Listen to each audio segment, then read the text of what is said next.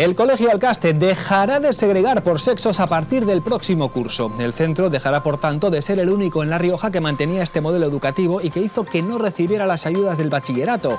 Una decisión que llega meses antes de que acabe el concierto y a la que la LOMLOE les obliga para acceder a ayudas públicas.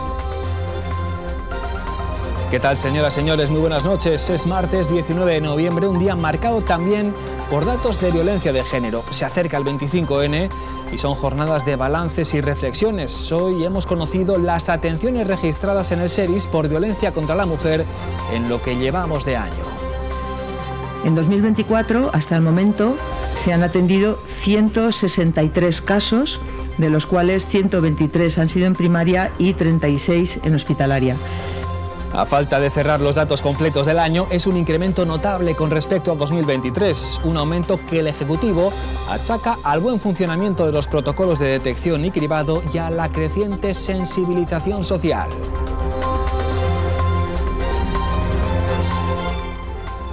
Y sigue, sigue la polémica en el seno de la DOC Rioja. La Asociación de Bodegueros de Rioja Alavesa no se da por vencida y ya ha anunciado que recurrirá ante el Supremo el fallo judicial que acaba de anular el intento separatista Viñedos de Álava. Una sentencia del Tribunal Superior de Justicia del País Vasco al no cumplir los requisitos comunitarios para ser reconocida como denominación de origen.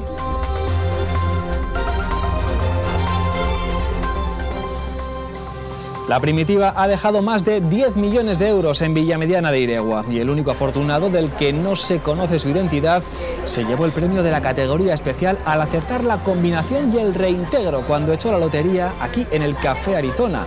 Una noticia muy celebrada en el pueblo, pero sobre todo entre los encargados de repartir la suerte.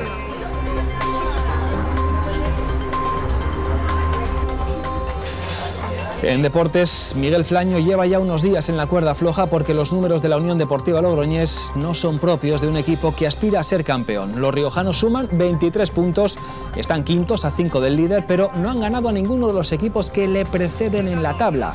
Con Miguel Flaño, el equipo blanquirrojo acumula 6 victorias, 5 empates y una derrota. La afición lleva días pidiendo su destitución, pero el club no ha movido ficha. Eh, posiblemente mm, estamos un pelín por debajo de lo previsto a estas alturas de temporada con 12 jornadas jugadas y durante el año tenemos que ir recuperando esa digamos esa pequeña pérdida que podemos tener. Sí, sí, sí, yo me siento con, con la confianza de las personas más cercanas a mí.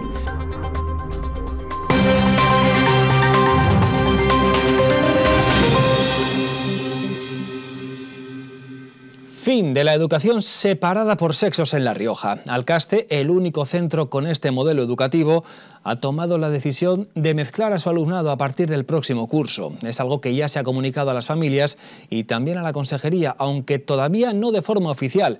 Precisamente esa segregación, según la LOMLOE, le impide acceder a las ayudas públicas.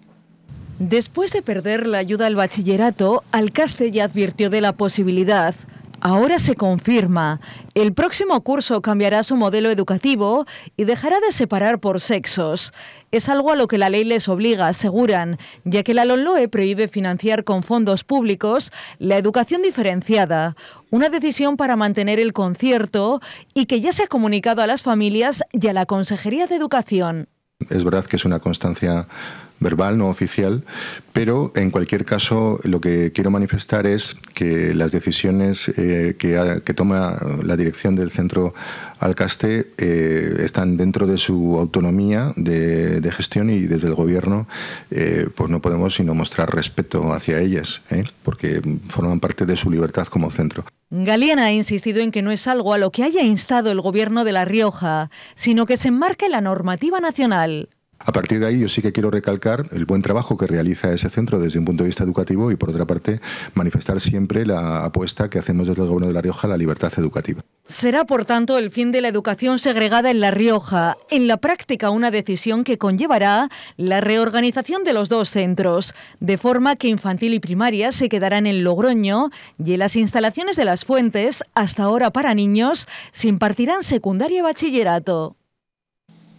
Bajo el lema Miércoles Verdes por la Educación Pública, la próxima semana comienza una serie de movilizaciones. La primera será el 27 de noviembre a las 11 en la Universidad de La Rioja frente al edificio Quintiliano. Con estas concentraciones, la Plataforma en Defensa de la Escuela Pública solicitará la reversión de algunas medidas encaminadas a su juicio a la privatización del sistema educativo. Las organizaciones integrantes de esta plataforma han animado a todos a ponerse la camiseta verde y hacerse fotografías en los centros para así defender una educación pública de calidad. Esta consejería está eh, apostando, defendiendo, haciendo políticas de privatización, está dejando a un lado la enseñanza pública riojana y por eso, eh, desde la Plataforma por la Escuela Pública, vamos a comenzar con esta movilización que, como he dicho, se llama eh, Miércoles Verdes por la Educación Pública, a la que eh, invitamos a sumarse a toda la comunidad educativa y a la sociedad en general. Se lo hemos contado, en lo que llevamos de año se han contabilizado 163 atenciones por violencia de género a través del sistema de salud, tanto en atención primaria como hospitalaria. Un incremento con respecto al año anterior que el Ejecutivo explica por la efectividad de las campañas de sensibilización y cribado. El próximo lunes es 25N, Día Internacional de la Eliminación de la Violencia contra la Mujer, y por eso estas semanas se suceden las comparecencias para abordar esta lacra. Hoy hemos conocido los datos de atenciones en el SERIS. En 2023 se contabilizaron 138 atenciones que no víctimas, esto es importante decirlo, 138 atenciones por violencia de género, 92 en atención primaria, 46 en atención hospitalaria. En 2024, hasta el momento, se han atendido 163 casos, de los cuales 123 han sido en primaria y 36 en hospitalaria. Un aumento que el Ejecutivo achaca a la mayor sensibilización social y a la eficacia de las campañas de detección y cribado. El último se realizó la semana pasada. Se implementó eh, por primera vez el formulario de violencia de género y se han cumplimentado 11 casos. Por tanto, eh, en, este, en, este, en estos 11 no quiere decir que sean casos nuevos, pero sí que hay un alto consentimiento de las víctimas para comunicar su situación y pedir ayuda. Lo han comunicado hoy en la presentación de un nuevo protocolo de coordinación en violencia de género entre salud, emergencias, servicios sociales y justicia. Con este programa las víctimas que acuden o son derivadas a los servicios de urgencias sanitarias pueden disponer de atención social y psicológica de forma inmediata y presencial las 24 horas del día, los 365 días del año. Y según han confirmado, para diciembre se abrirá en la calle Labradores de Logroño el Centro Integral para las Víctimas de Violencia Sexual. La Consejería de Salud y el Colegio de Farmacéuticos tratarán de concienciar a los riojanos sobre el uso racional de los antibióticos y cómo frenar la resistencia bacteriana. Para ello han elaborado una campaña informativa con 15.000 dípticos y 250 carteles que ya pueden encontrar en las farmacias y botiquines de la comunidad. ¿Está resfriado? ¿Le duele la cabeza? ¿Qué hace? ¿Toma antibiótico? Aquí en su farmacia le informan y también le forman a través de esta campaña para la que se han elaborado 15.000 dípticos y 250 carteles.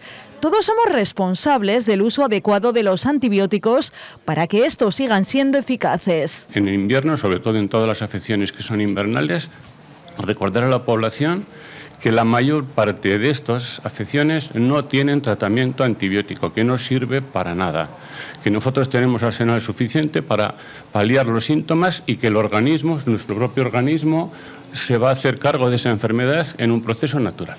Es uno de los consejos, pero hay más si es necesario el tratamiento con antibióticos. Que deben obligatoriamente cumplir la posología y la duración del tratamiento. No puede ser que una persona en su casa tenga en su botiquín restos de antibiótico. Eso quiere decir que no ha cumplido con el tratamiento que le han enviado y que además esto provoca resistencias. Esos antibióticos sobrantes deben reciclarse correctamente a través del punto SIGRE. Está en nuestra mano, según Salud, reducir también su uso y contribuir a la prevención de la resistencia a los mismos. ¿Cómo?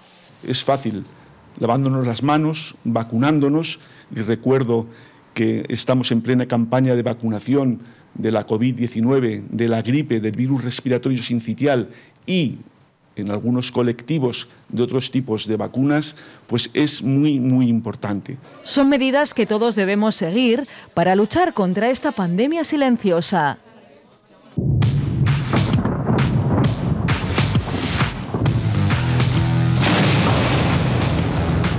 Cambio climático lo ha cambiado todo y los riesgos son más y más imprevistos, como las lluvias, las heladas o el pedrisco. Por eso necesitas un buen seguro agrario que garantice tu tranquilidad. Agroseguro. Trabaja sobre seguro. Sigue la polémica. Abra, la Asociación de Bodegueros de Rioja Alavesa, anuncia que recurrirá ante el Supremo el fallo que tumba viñedos de Álava. El Ejecutivo riojano ha subrayado la independencia de los órganos de la DOC, pero ha recordado que ha sido la unidad de Rioja la que ha logrado colocar a la marca en la posición de prestigio mundial que ocupa hoy. No considero que sea una victoria, pero yo creo que pierde la denominación. La sensación no puede ser, como decía José Luis, nada más que de tristeza.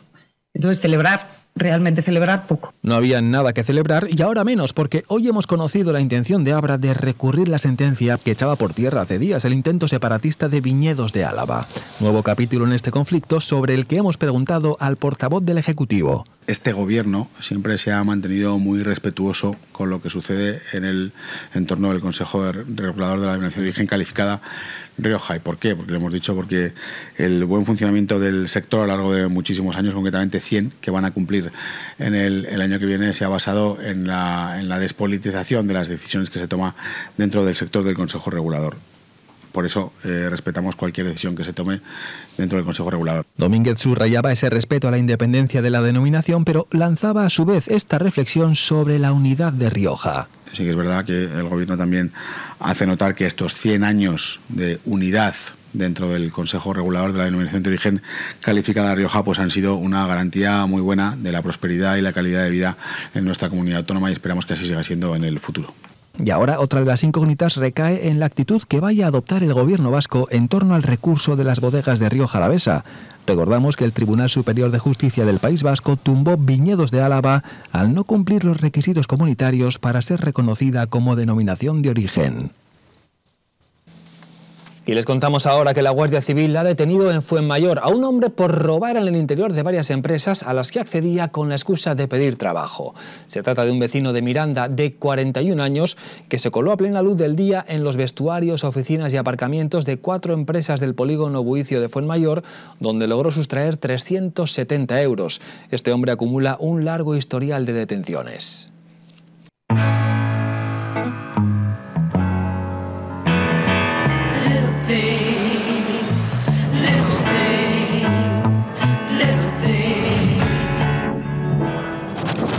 Cause it's the little things that mean an awful lot.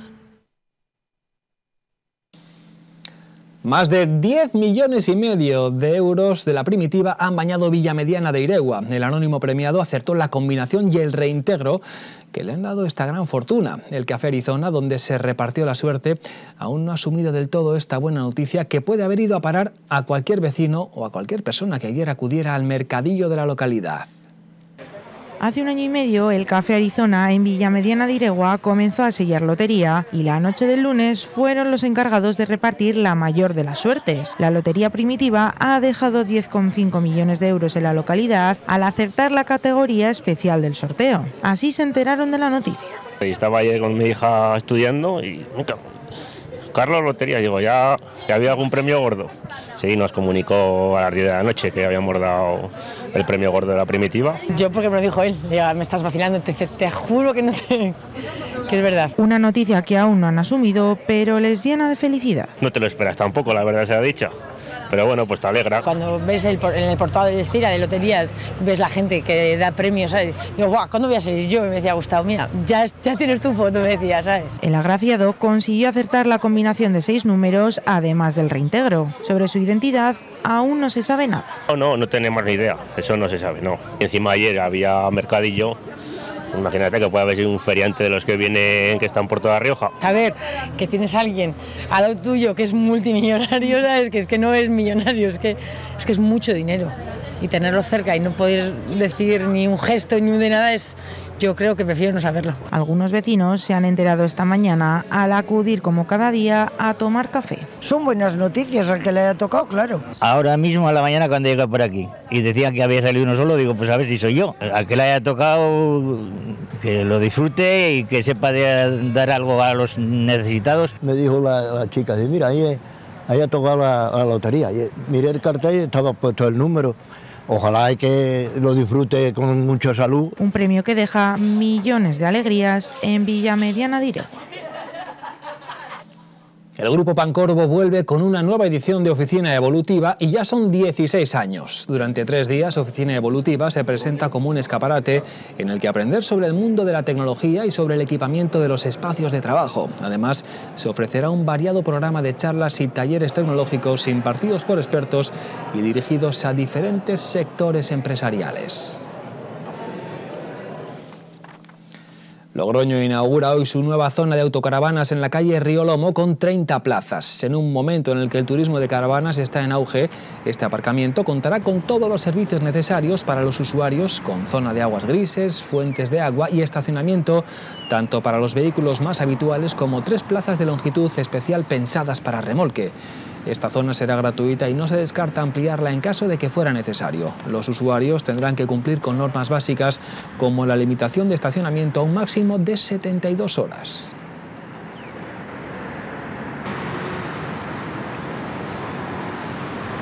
Esa gente que nos visita pues tenga un sitio donde poder estar cómodo, seguro, con los servicios como son las aguas grises, eh, las aguas negras, fuentes de agua de, pues vamos a decir, de, última generación, ¿no? Eh, los sistemas más modernos que hay actualmente en el mercado.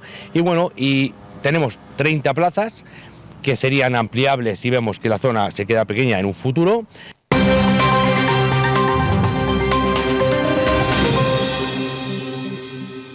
Eh, posiblemente mm, estamos un pelín por debajo de lo previsto a estas alturas de temporada con 12 jornadas jugadas. Y durante el año tenemos que ir recuperando esa, mm, digamos, esa pequeña pérdida que podemos tener. Sí, sí, sí, yo me siento con la confianza de las personas más cercanas a mí. Eh, el equipo eh, está, está, muy convencido de, que, tenemos que trabajar y de que podemos eh, conseguir lo que, lo que queremos y, lo que, y para lo que trabajamos.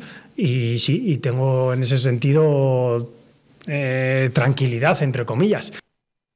Se siente con energía para trabajar y mejorar cuando sabe, y así se lo han dicho, que los suyos van algo por debajo de lo previsto. Son las palabras de un Miguel Flaño que lleva ya unos días en la cuerda floja porque los números de la Unión Deportiva Logroñés no son propios de un equipo que aspira a ser campeón. Ahí lo tienen, los riojanos suman 23 puntos, están quintos a 5 del líder, pero no han ganado a ninguno de los equipos que le preceden en la tabla. Con Miguel Flaño, el equipo blanquirrojo acumula 6 victorias, 5 empates y una derrota, ha marcado 14 goles y recibido 7. Estos números que suma el equipo con Miguel Flaño no son buenos teniendo en cuenta que el objetivo es el de quedar primeros y ascender. La afición lo sabe y ya ha pedido en varias ocasiones la destitución del técnico. De momento en el club no hay ningún movimiento, aunque parece que el duelo de este domingo en Anguiano puede significar un antes y un después. Aunque la situación deportiva no es dramática, porque el primer puesto está a 5 puntos, lo cierto es que sus últimos números, 6 de 15, no son ni mucho menos de equipo líder. De ahí que la afición de la Unión Deportiva Logroñés esté harta y haya pedido la destitución de Flaño. A la afición la respeto, por supuesto, a tope. Estoy convencido de que, de que nos va a, sostener y a empujar eh, bueno, durante la temporada. Temporada en la que los riojanos tienen como objetivo el ascenso. Por eso deben asumir ya su rol de favoritos y hacer todo lo posible para asaltar la primera plaza cuanto antes. En ese ir por debajo de lo previsto o algo por debajo de lo previsto, eh, a nosotros nos corresponde eh, ir Em, recuperando ese terreno en la temporada que nos queda por delante. Este domingo los blanquirrojos juegan en Anguiano y después se enfrentarán de manera consecutiva a tres bloques que ahora mismo están en descenso, Barbastro, Subiza y Real Sociedad. Eh, yo sí siento que el equipo que el equipo trabaja, que el equipo compite, que el equipo tiene buena actitud, pero también es verdad que el nivel del equipo tiene que ser algo mayor para engancharnos realmente a, lo que queremos y al objetivo que tenemos. Yo estoy convencido de, que, de que va a ir bien. El último encuentro de este 2024 será frente al Alfaro. Quizá la lesión de Quique Rollo no sea tan grave como en un principio se pudo pensar. El portero de la Unión Deportiva Logroñés se retiró el domingo del partido ante el Arenas en el minuto 85 y tras lastimarse su rodilla derecha. Ayer la primera exploración ofreció buenas sensaciones, pero serán los resultados de la resonancia a la que ya se ha sometido los que revelen el alcance real de la lesión y cuánto tiempo llevará su recuperación.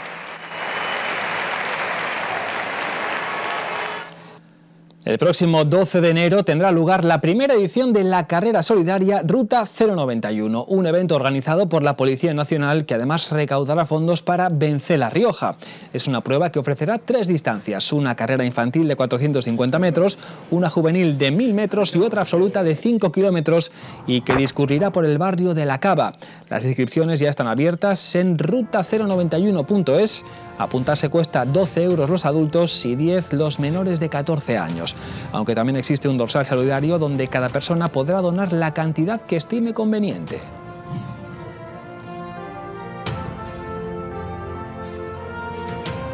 Los participantes pueden ser con más capacidades físicas y con menos. Eh, está abierto para todo el mundo, ese día es una fiesta y se puede hacer tranquilamente. La idea es que, que todo el mundo participe y todo el mundo colabore aparte de recaudar fondos para ayudar a esta asociación, es dar visibilidad a esta asociación sin ánimo de lucro y que trabaja para estimular y promover la investigación clínica y farmacéutica sobre la ELA en La Rioja.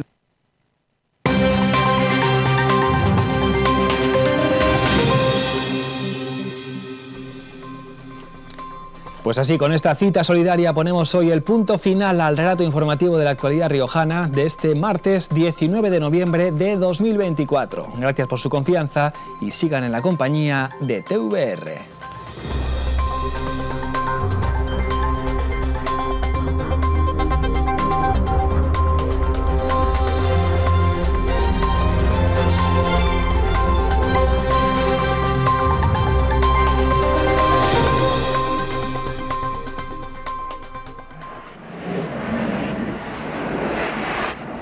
Gobierno de La Rioja.